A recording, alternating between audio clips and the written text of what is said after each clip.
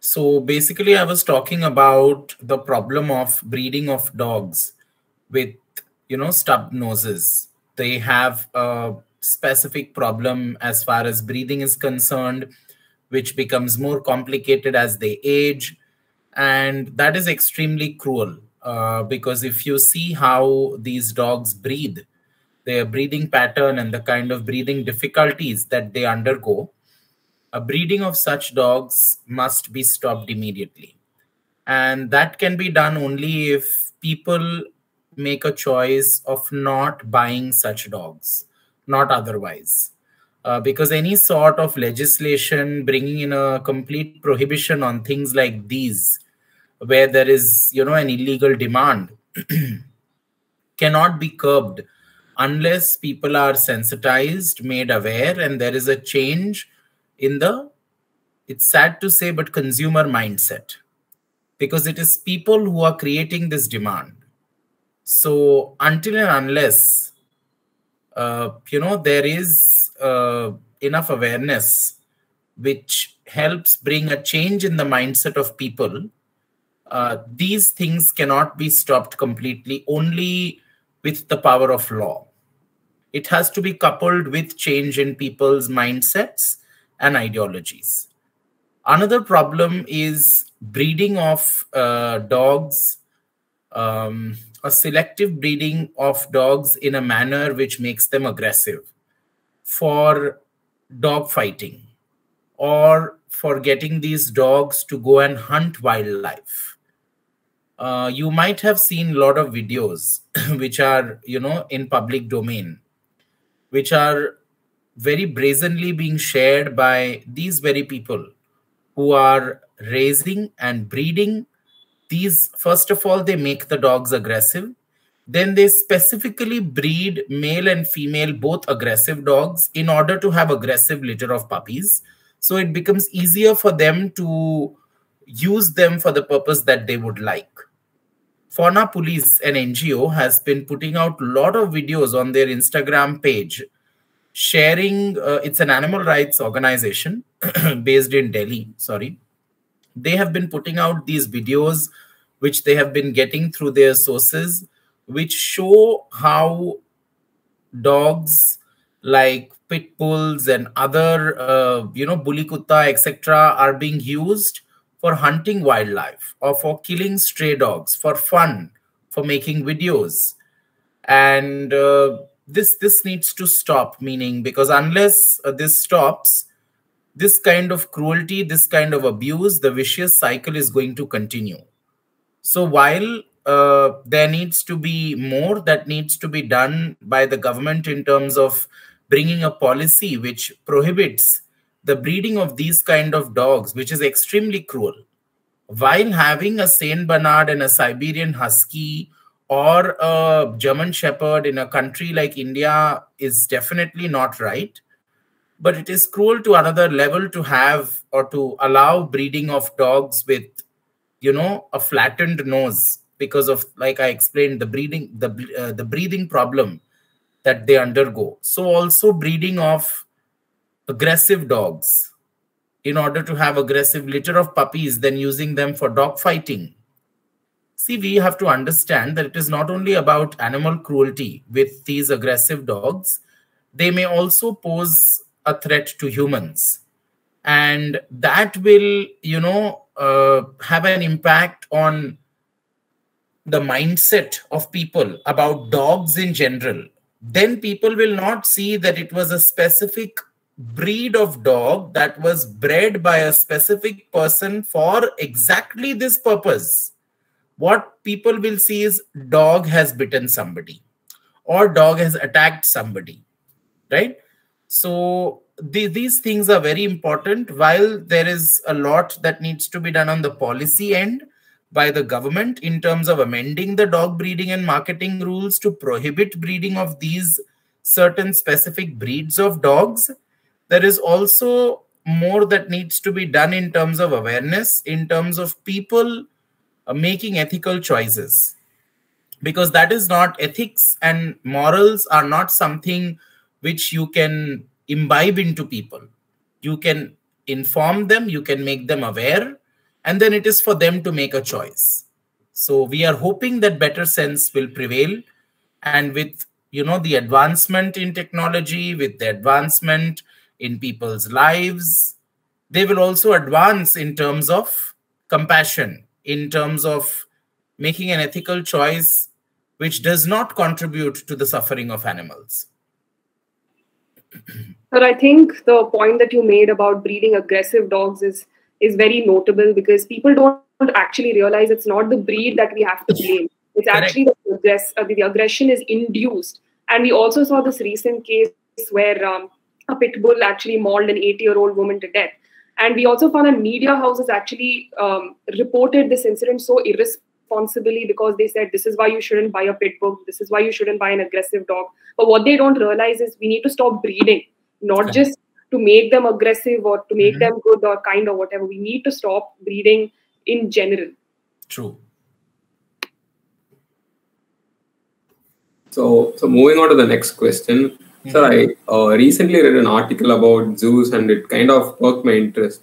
Uh, what I wanted to know is whether entertainment and human amusement are a sufficient justification and grounds for keeping animals in captivity or and are they like just uh, prisons for wild animals absolutely not answering your first first half of your question and the second half certainly they are prison for animals for animals which have committed no crime just because of you know their existing these infrastructure of zoos which are unfortunately considered as a part of ex situ conservation. If you look up what is ex situ conservation, zoos are a part of ex situ conservation.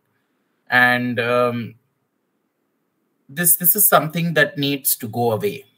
Thankfully, some IFS officers, uh, despite of being part of the system, are vocal about bringing this change uh, in the system or rather at least voicing against it, saying that this is something which must end.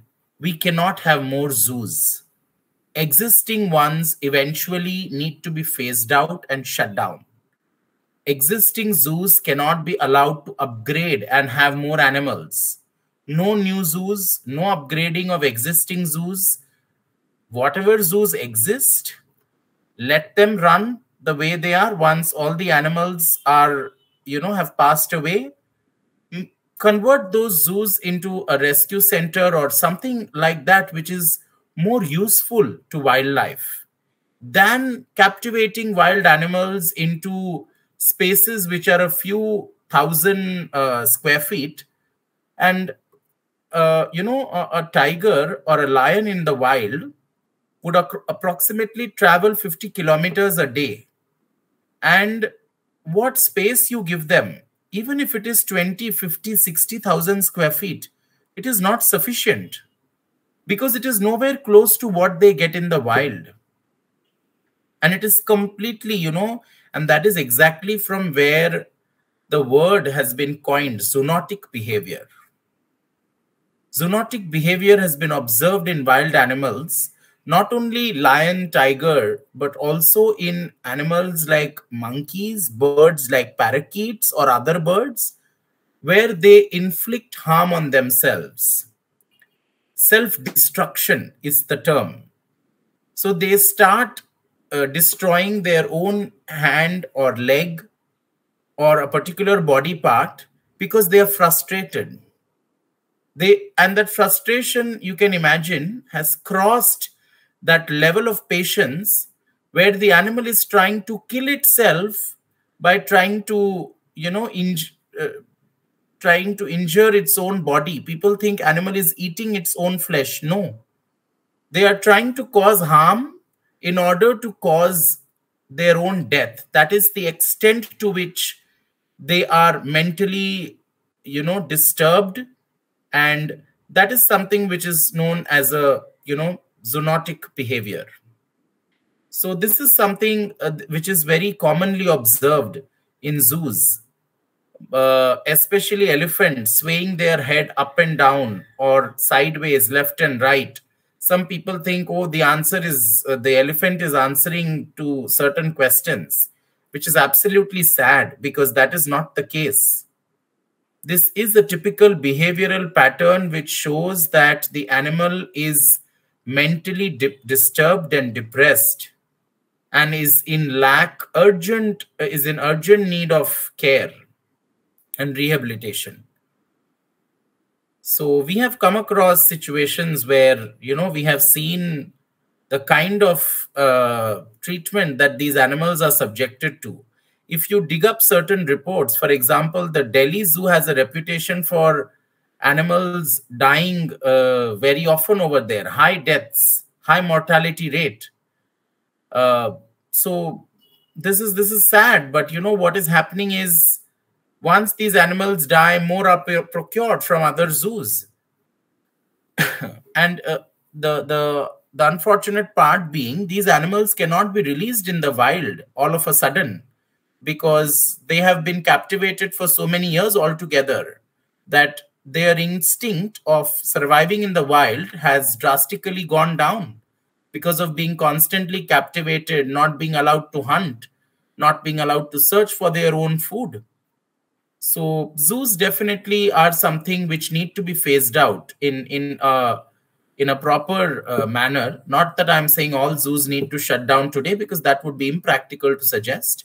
So it needs to be done in a phased manner, but we need to do away with zoos we need to stop adding more animals to existing zoos, stop adding to newer zoos in the country.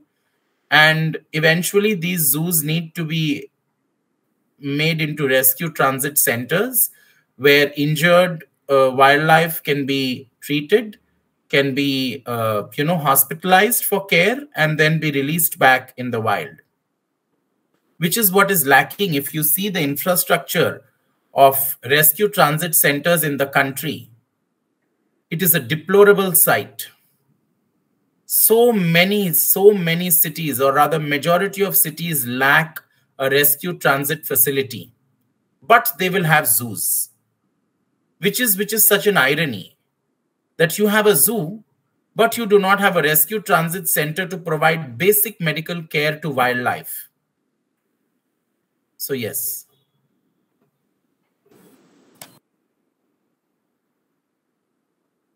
Yeah, so so one of the primary arguments in defense of uh, keeping zoos is in the name of species conservation. So uh, the question that I would like to follow to what you answer right now is: Does the need uh, for species conservation outweigh the cost to individual animal welfare?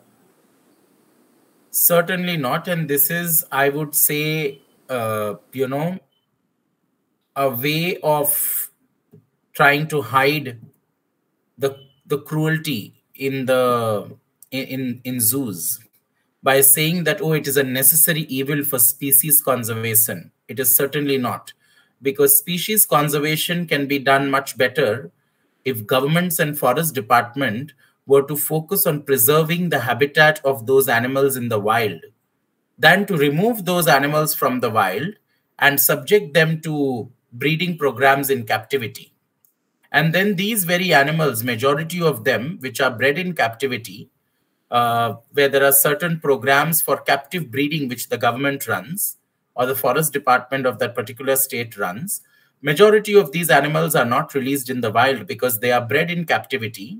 They are kept in captivity. And imagine the first generation. What, what would be the plight of those animals? What would be the condition, the mental condition of those animals? you are catching those animals from the wild. They are they are used to living in forest undisturbed by humans. You suddenly catch them and you put them in an enclosure for captive breeding program. Is it fair? And imagine the fate of generations of these animals that are put into captive breeding program what is the future? They are relegated to captivity most of them. So i don't think it is worth it because and this is this is just an excuse i would say. If the government and the forest department is really serious about species conservation they can very well do. They have enough infrastructure and machinery in place to protect wildlife in their own habitat. If it comes to that they will very well do it like we have done it i'm not saying the government has not done it. Tigers once a depleting population today though is not what it used to be earlier is slowly and steadily becoming better right? The numbers have gone up. So if the government wants to do it they can very well do it if they have the will to do it. And the government themselves have shown that they can do it. So it is just about replicating it again perhaps in a little innovative way but it can be done. And this government this very indian government has shown and when i say indian government means it also includes state and the forest department etc but i mean the system as a whole has shown us they have themselves done it. These tigers are not bred in captivity. These tigers are very much in the wild. What the governments have done is safeguarded their homes which is exactly what you need to do for species that are threatened so yeah. Yes. So um, moving on to the next question. Uh, mm-hmm. Uh, many people in India own exotic species of animals, and this ownership is mostly illegal. Mm-hmm. Animals such as pythons, lizards, and alligators, and many other such live exotic uh, species are smuggled into India every year and in deplorable conditions. And countless Indians blindly choose to purchase and keep these animals as pets. So we also observe that there's a lack of knowledge, awareness, and sensitivity among people about the different species made available in uh, various pet markets. So, so can you tell us about the instances where you have dealt with such illegal ownership of exotic animals as well as their sale in live markets? Many occasions, rather. Uh, if you see pet shops in your own area, you will find pet shops selling uh, budgerigars, cockatiels, macaws, etc., which are not native to our country, which are all exotic, imported from some country or the other. Uh, may not be imported now, but perhaps imported at some point of time, maybe five, seven years ago, and then being bred here and their generations being sold. But the point being that the, you know, whenever, wherever it started, it was these animals which were imported from whichever country that they belong to. For example, an African grey parrot uh, is a bird that is found in the wild in Africa. But look at the sad reality in our country that they are found in cages in people's homes. Now, how is this happening? African grey parrots in Africa have not only become endangered, but they are extinct in Africa. So while they are extinct in their own country of origin, they are very much found here in India and in other countries where exotic pet trade is legal. And how they are being kept in the in captivity. If I were to give you an example, if you were to come across African grey in Africa, he or she would not behave in the same manner that an African grey in somebody's house would behave. Why? Because these birds have been stolen from the wild. Whenever it started, like I said, maybe not this batch, but the earlier batch five years ago, seven years ago, whenever they were imported, featherless birds, babies, removed from the nest and put into captivity, hand raised by humans to tame them, to make them used to humans, to make them feel that humans are their parents, humans are their family. And hence, an African grey would behave in a different manner, probably come and sit on your shoulder and eat food from your hand, or perhaps talk, or I don't know, do what, what other horrible things that we as humans can make them do uh, tame them into doing rather. And if you see an African grey in the wild and you try to approach it, it will bite you. So this talks about what we do to animals in order to subserve our purpose of entertainment or wanting to make them as companions. So laws regarding exotic species are still not uh, you know, very clear, so to say. But thankfully, the government has started something called the Parivesh portal. the Ministry of Environment, Forests and Climate Change has started a Parivesh portal where it is mandatory for everyone to register exotic species in their possession. Failing to do so is an offense and suitable action can be taken by the chief wildlife warden of that particular state, including seizure of those animals. So the government has started an initiative to basically streamline uh, this. But what I would say is that this trade itself needs to be prohibited. It needs to stop now. Damage is already done. But what needs to be done now is further damage needs to be prevented by, you know, imposing very stringent conditions on the trade of these species. We have CITES and we have other, you know, legislations which are not really legislations, but they are treaties which India is a party to. But there is a lack of a specific law that deals with the trade of exotic species. From what I understand from the, you know, material available uh, online, the government in a wildlife protection uh, amendment act is planning to bring in a regulation for exotic species. We are hoping that it will be a strong piece of legislation which is watertight and not something with loopholes which will allow the trade to go on. Because we have seen the downside of this trade a lot of species are invasive species. For example, the red-eared slider, a turtle species, which is very commonly kept as pets by a lot of people. And when they start growing bigger, they are people realize that okay, we cannot keep them in homes, so they go and release them in ponds or lakes or other water bodies, which is the most horrible and the you know uh, the worst thing to do why I say so is because red-eared slider are invasive species. They will invade the local native species of our country, perhaps even kill them and increase their own population in our country. And hence, trade of red-eared sliders is expressly prohibited in the European Union. They are not allowed to be kept as pets or their trade is also completely prohibited. For this very reason, the purpose of the Wildlife Protection Act is to conserve and to protect our native species. So it needs to do more to conserve and protect our native species from such invasive species that are being brought into our country in an unregulated manner. Uh, if you see the DRI, the Directorate of Revenue Intelligence, has also, which is uh, which is a body under the, or which is rather an institution under the Ministry of Finance, has started cracking down on breeders and individuals who are into the who are into the trade of exotic species because of money laundering or because of you know uh, illegal transactions of money as far as that is concerned.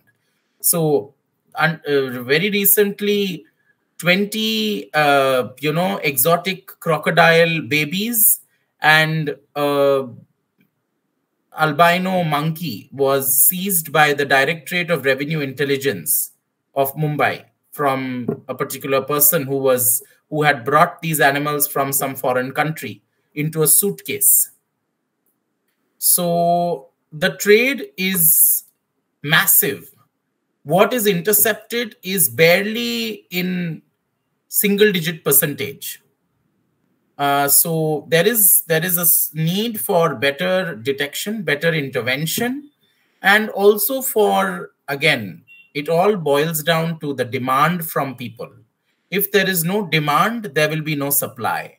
But till there is a demand, there will be all sorts of methods which these smugglers will use: roadways, airways, waterways, and all other you know methods of smuggling wildlife into the country and trading in them so it is extremely cruel. It is not something one can be proud of. If somebody has an African grey parrot that they have purchased or any other exotic species that they are in possession of, it is not something one can be proud of because these species have been stolen from the wild. If not them, their uh, you know immediate um, you know the the previous generations were stolen from the wild and they are also wild after all.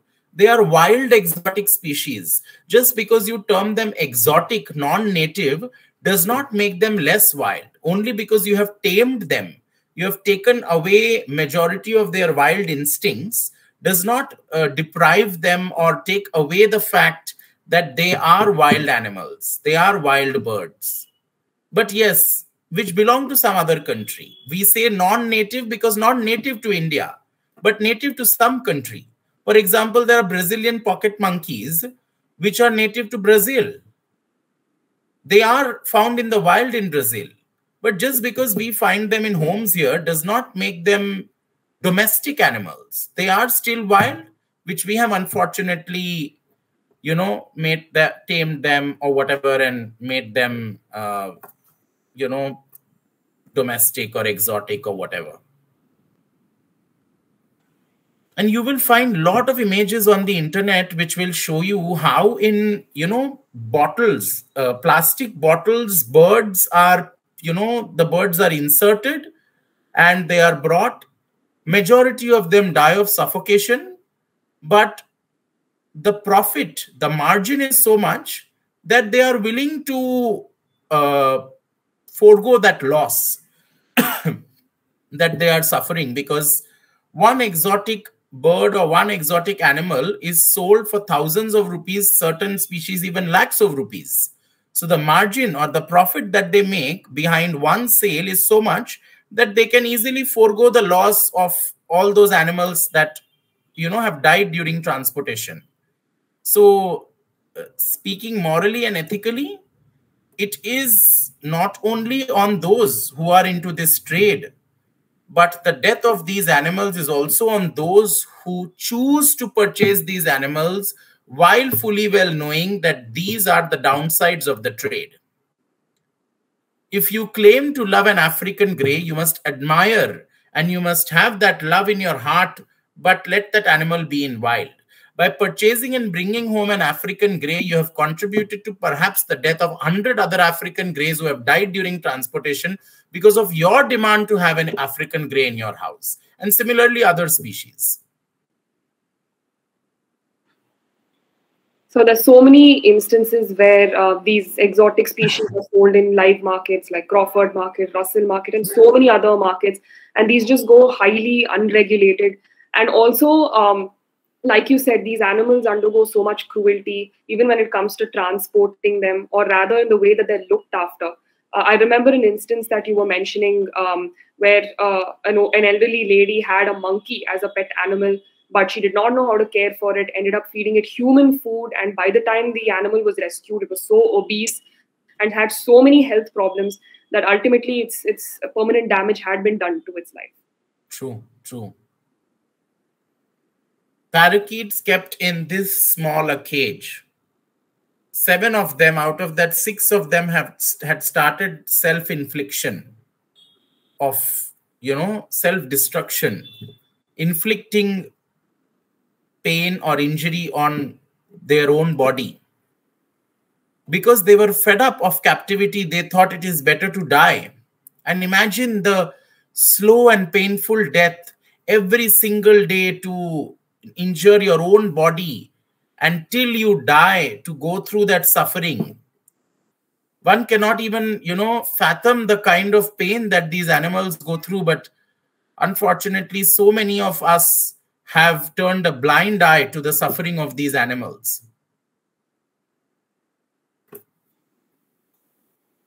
So we find that um, laws for the protection of the rights of animals in india still has a long way to go uh, in terms of creating a safe and a cruelty free environment for animals. Every day we hear instances of cruelty where people are able to commit the most uh, inhuman crimes against animals and they get away with it with just a slap on the wrist. So you've even been vocal in various interviews on the much needed legislative reforms that have to be brought in um, so that we can better protect the rights of these animals.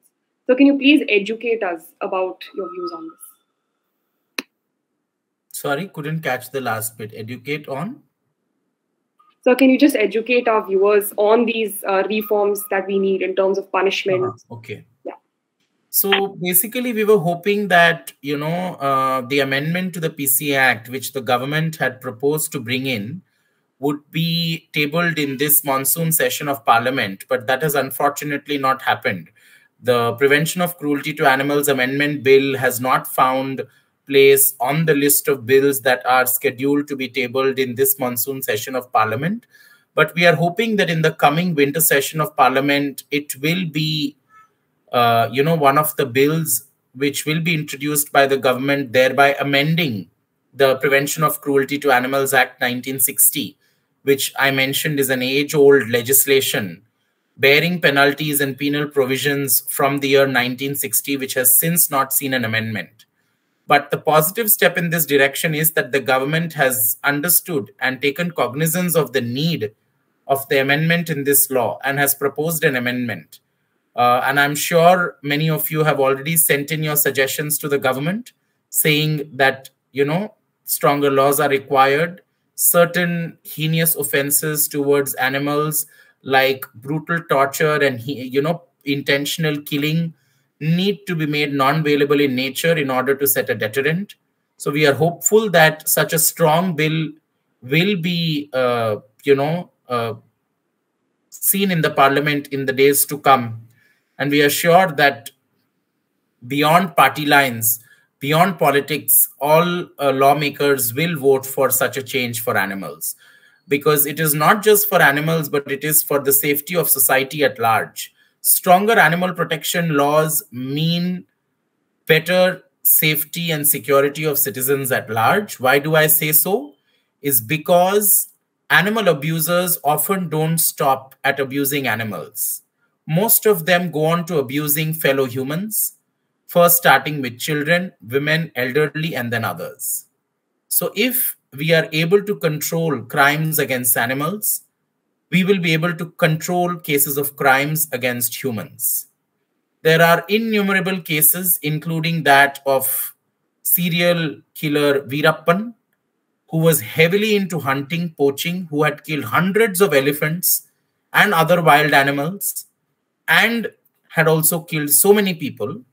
So, and, and there are numerous such instances, not only in our country, but internationally, which is why in the US, the FBI, the Federal Bureau of Investigation, investigates serious or heinous cases of cruelty towards animals because FBI has taken cognizance of the fact and made it a policy that serious crimes towards animals will have to be investigated by the FBI so that further crimes towards humans can be prevented.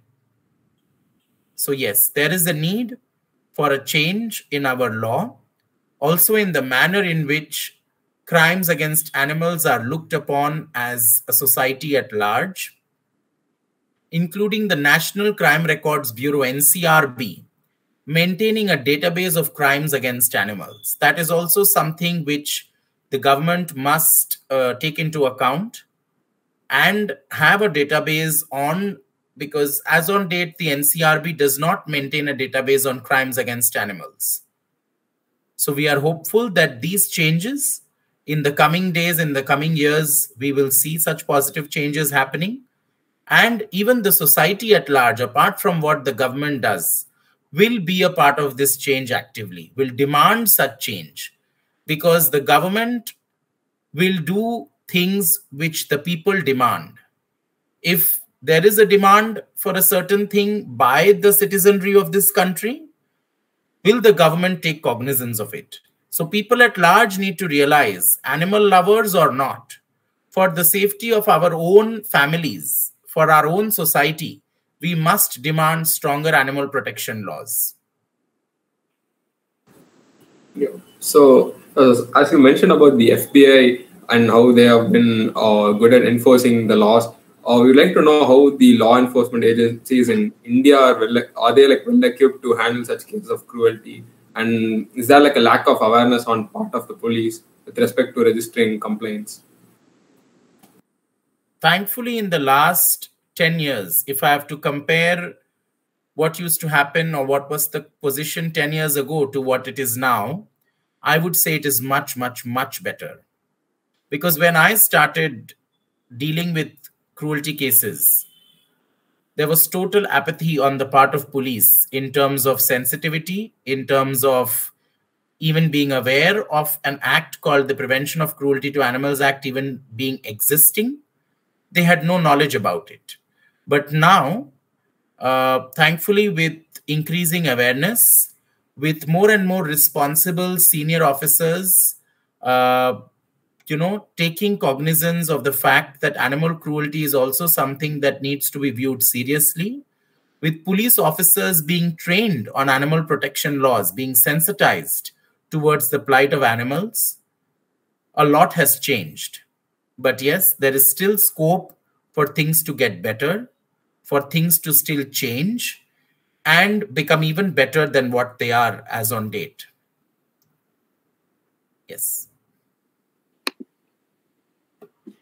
So we find that although we have laws which are protecting animals and punishing um, the cruelty against animals, what is important for us to realize is that we have to address the root cause of the problem because as the saying goes prevention is better than cure. And we find that the major reason that um, there exists cruelty towards animals is the lack of empathy that people feel towards them. So this made us curious as to how is it that people actually view these uh, voiceless beings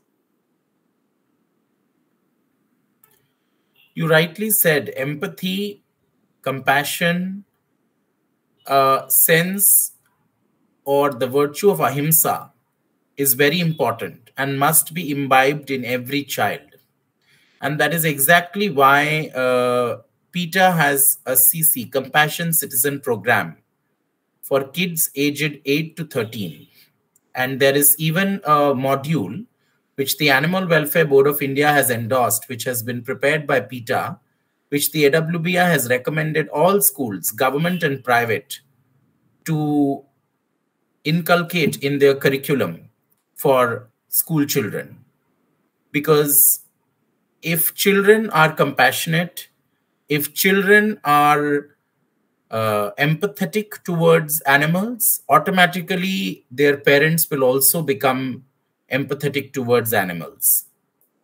And I think not exposing children to violent things is one thing that parents need to do as responsible parents and responsible citizens of the country to ensure that children don't get desensitized at a very early age.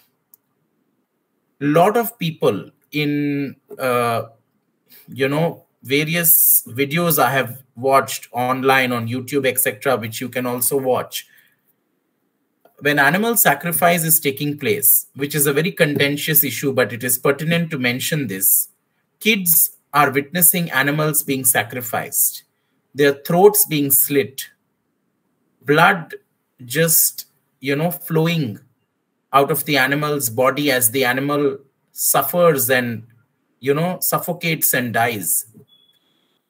Uh, sights like these will only desensitize children. And making children sensitive will also ensure a better society for everybody. Because a desensitized child is more prone to committing violence and crime than a child who is sensitive. So, a sensitive child is not a weak child. It is a child who is empathetic, who is compassionate, who is a responsible citizen, who will have a rational sense of being. But a child that is subjected to violence, cruelty, or one which is exposed to violence and cruelty at a young age, at a tender age, and desensitized, will be more prone to committing violence, will be more prone to committing crimes. And hence, it is in the interest of our own society and of those kids or of those children that they are sensitized, they are made aware not only of, like I said, And it's not only citizens of this country as adults who need to develop a scientific temper and a spirit of humanism, but it needs to be inculcated in children as well that we are responsible as species who think are supreme, as species who have brought in so much of change on this planet Earth, it is also our responsibility to care for these animals, for they cannot care for themselves. So, I think, sir, I think you very aptly put across as to how we how we have to change our mindset and attitude and sort of expand our circle of compassion to include animals as well. So, so I'm sure you faced your fair share of struggles when you were pursuing a career in uh, the field of animal rights advocacy. So, we wanted to ask you what advice you would give to budding lawyers who want to go down the same path. Be persistent. Don't give up because there will be somebody or the other in the system who will do what is the right thing to do. There was an instance, there was a case that I had recently dealt with where the local police was insensitive towards the plight of that particular animal which was being subjected to cruelty. I tried to raise it with the deputy superintendent of police uh, who was also not very inclined to do anything about it. But when I took up the matter with the superintendent of police, the district police chief, there was immediate action on his part with a direction to register a first report, that is an FIR, and take necessary legal steps in that direction. So you will certainly find somebody in the system who will be empathetic. You must have that trust, faith, and that positive attitude in yourself that even if there are two steps, there are hurdles at two steps, the third or the fourth step will be something which will be a ray of hope and which will be something which will get the work done. And not giving up is not a choice. Because if we give up, we are giving up on those animals which are counting on us. So for those animals, we must go on. We must keep at it. Thank you so much for your advice, sir. I am sure that everybody who is listening here today would have taken away some valuable insights. And we also hope that we've ignited a passion in everybody to pursue this cause. And for those of you who had no prior knowledge about animal cruelty, we certainly hope that we were able to shed some light on the same. So, I would like to summarize um, the key takeaways from what we have said. So, so so animals are like being subject to incessant and unnecessary cruelty as is evident from the inst- instances that you have mentioned in the dairy industry breeding and puppy mills testing factory farming and the entertainment industry um, so you have said that the law which is supposed to come to the rescue of these sentient beings are not stringent enough to protect their rights the punishment for cases of cruelty are so weak that the offenders commit the most inhuman crimes against these animals and are able to get away. So we believe that we cannot justify disregarding the interest or suffering of non-human animals for either for profit or for entertainment. Uh, we believe that equal suffering should count equally. Sir, on behalf of the Animal Rights Wing and the podcast committee of Ramaiah College of Law, we extend our heartfelt gratitude to you for spending your valuable time with us today and enlightening us on this cause and inspiring us and most importantly empowering us to fight for the rights of animals. Thank you sir. Thank you sir. Thank you so much. Thank you everyone